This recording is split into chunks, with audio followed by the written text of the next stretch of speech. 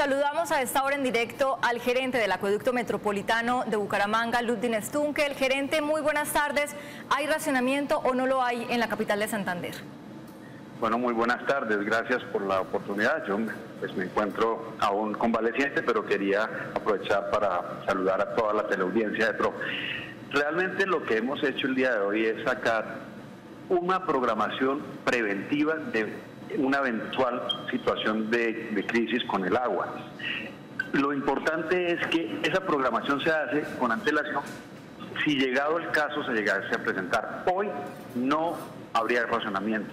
El día de mañana no tendríamos racionamiento y creemos que no se va a dar el racionamiento, pero no podríamos dejar de presentar el plan de, de racionamiento porque estaríamos incumpliendo la normativa que nos rige y la, el, sentido de planeación que siempre se debe tener.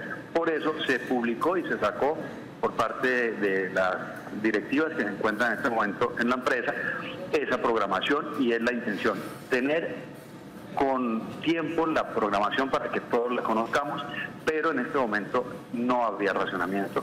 Hoy no, no, no se comportó mal, hoy mejoramos los niveles de captación, se mejoraron los niveles tanques, mañana no tendremos racionamiento y esperamos que ya no vaya a haber ese riesgo. Pero lo que no podemos es bajar la guardia, venimos con unos consumos muy buenos, con unos ahorros, la gente ha hecho un uso eficiente del agua y no podemos bajar la guardia por las lluvias que se presentaron en la cabecera municipal porque aún el efecto del niño se sigue sintiendo en las zonas altas donde se hacen las recargas hídricas de nuestros ríos.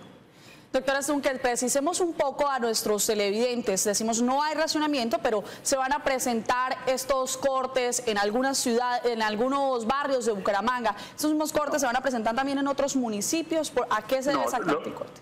Los cortes programados que se establecen ahí es en la eventualidad que se diera esa situación.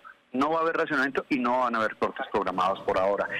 Solo que no podemos avisarlo sin, eh, en el mismo día, o sea, tenemos que hacerlo con, con tiempo, siendo precavidos para que se conozcan los posibles cortes programados. Pero en este momento podemos decir que no se van a dar el día de mañana y que esperamos que no se dé. Pero tenemos que avisar y de permitir que exista la programación y que la gente la conozca.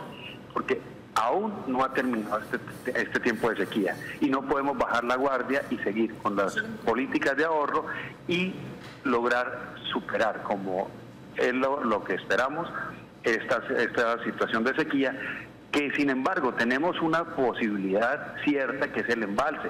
Ya podríamos, ya probamos la válvula Howell Bonger, ya podemos desembalsar, ya podríamos enviar agua adicional a través del río Tona y captarlo en el Surata para tratarla en Bosconia. Pero no queremos interrumpir la etapa de llenado del embalse, por lo que los invitamos a que nos ayuden a que ahorremos agua, que todavía estamos en etapa del fenómeno del niño que ya seguramente la próxima semana tendremos las lluvias esperadas de abril y seguramente no vamos a tener ninguna situación de, crisis de agua, ni de cortes programados, ni, nada de ese tipo. Pero teníamos que sacar por norma una programación seria, real, técnicamente elaborada, como la que se programó y se sacó hoy en los medios, para que la gente la conozca. En la eventualidad que se dé, esa va a ser la programación. Pero creemos y tenemos eh, certeza que la empresa está haciendo todo el mejor esfuerzo para que eso no se dé. 1.36, pues muchísimas gracias al gerente del acueducto metropolitano, sabemos que se está recuperando y ha atendido pues este llamado de Oriente Noticias.